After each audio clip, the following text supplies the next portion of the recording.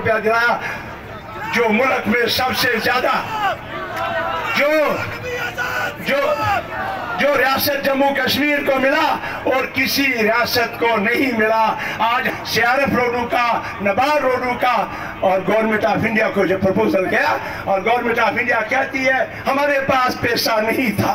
और ये कह रहे हैं, हम जम्मू कश्मीर को खुशहाल बना रहे हैं। आज ये कहते हैं, हमने ये इसलिए, लोग आज मुतमनी है, लोग आज चाहते हैं। तो क्या गुलाम नबी आज़ाद साहब आए? आपका जो दो चीफ मिनिस्ट्री का था, अगर अल्फाज के साथ सब एक ज़ोर को नारा लाऊँगा बिना सारी आवाज़ नहीं आती जनाब गुलाम नबी आज़ाद साहब और बीजेपी वाला आवाज़ आनी चाहिए जनाब गुलाम नबी आज़ाद साहब आज़ाद साहब आगे बढ़ो आज़ाद साहब आगे बढ़ो खुदा हाफिज वालेकुम थैंक यू अकरम साहब। मैं जम्मू कश्मीर के लोगों का बहुत ही बड़ा खुशी का दिन है। कि आज आपने फैसला किया, इस जलदल से बाहर निकालेंगे मेरे जितने भी साथी हैं उनको। सबसे पहले प्लीज़ ये सामने ना आए। सारे सारे साथी, सरदार जी जी पीछे हो जाए, पीछे हो जाए प्लीज़ पीछे हो जाए। पीछे। जम्मू कश्मीर की मजबूरी है। कोई आवाज़ नहीं आ रही। जम्मू कश्मीर की मजबूरी है जम्मू कश्मीर की मजबूरी है ये स्कूटर पीछे करो ना यार, स्कूटर लगे काम आगे। यहाँ पे जुगल किशोर शर्मा जी, जनाब हरस चिम साहब यहाँ बड़े दूर से लोग आए हुए हैं सारा चिन्हावली कुंदेश से बदरवा से टोडा से किश्तवाड़ से उधमपुर से यहाँ पीर पंजाल से यहाँ कठुआ से या जम्मू से सारे दुनिया के लोग यहाँ अभी आपके सामने सारे भर गए हैं मेरी गुजारिश है आज हमारी पहली मीटिंग होने जा रही है किसी के साथ अगर हम कोई थोड़ी सी उसके प्रोटोकॉल में कोई कमी आती है तो मेहरबानी करके हमें माफ़ में किसी किसी को किसी को चेयर नहीं मिलती है, कोई आगे पीछे हो जाता है, कोई पीछे सेकंड रो में थर्ड रो में बैठना पड़ता है। मेहरबानी करके माफ़ करेंगे आप, जो कि पहला आज करके डिसिप्लिन मेंटेन करें। मैं साथ में कहूँगा, अरुण राजू जी हमारे एक नेता है, रामन के। उनसे कहूँगा मोहम्मद जी भी हैं।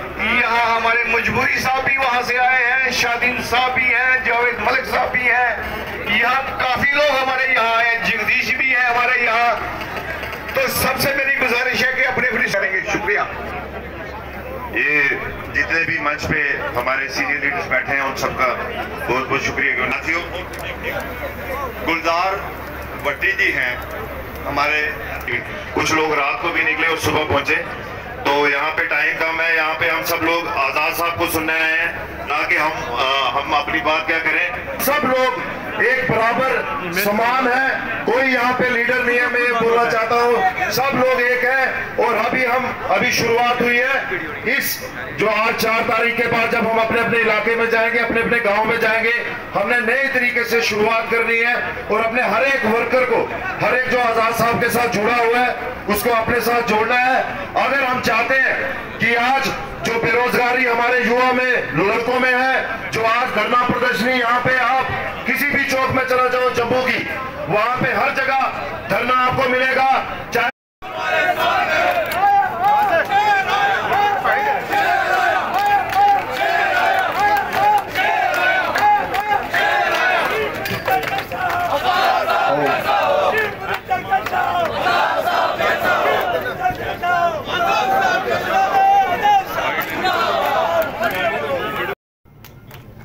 और ये मेरा नाम है।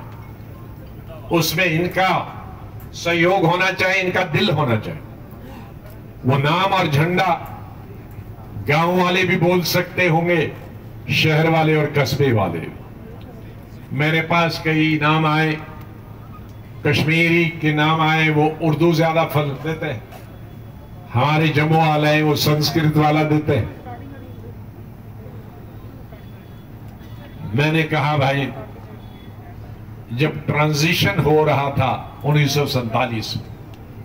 उससे पहले उर्दू पढ़ी जाती थी, उर्दू बोली जाती थी। आज़ादी के बाद हिंदी भी आ गई, संस्कृत भी। पहले तो कोई बहुत ही विद्वान पढ़ते थे, लेकिन इंट्रोड्यूस तो नेहरू ने कहा कि हमारा हिंदुस्तान, गंगा जमनी हिंदुस्तान तो हमारी आम बोलचाल होगी सभी धर्मों की। वो न संस्कृत होगी और न बिल्कुल प्योर होगी, वो हिंदुस्तानी हो। तो आज पचहत्तर साल से हिंदुस्तान के हिंदू मुसलमान सिख ईसाई हिंदुस्तानी बोलते हैं। हिंदुस्तान, हिंदुस्तानी किसको कहते हैं? जो मेरे हिंदू भाइयों ने भाषण किया, मेरे मुसलमान भाइयों ने भाषण किया, यहाँ भी और हिंदुस्तान में, जो हम घर में भाषण करते हैं, वो ना किसी मौलाना की उर्दू है, न किसी पंडित जी की संस्कृत है। वो आम भाषा है जो सबको समझ आती तो मेरा नाम पार्टी का भी एक उसी पंडित जवाहरलाल नेहरू की तरह एक ऐसा हिंदुस्तानी नाम होगा जो हिंदू भाई भी समझे, मुसलमान भाई भी समझे, सिख भाई भी समझे, ईसाई भी समझे। बौद्ध अगर इस का हिस्सा होते सौभाग्य से वो सब उर्दू जानते हैं। इसलिए कोई प्रॉब्लम नहीं होती। तो मेरे भाइयों, मैंने कुछ सुनिए इसलिए मैंने कुछ चीज़ें आखिर में कुछ नोट की मेरा अगले वक्त में जो नई पार्टी बनेगी कई नाम लोग दे रहे हैं, वो सब गलत है, अभी डिसाइड नहीं किया।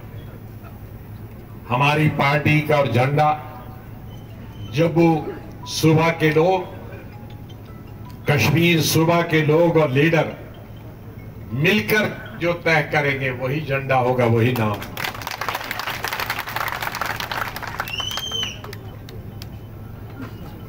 मैं अपनी दिल्ली में बैठकर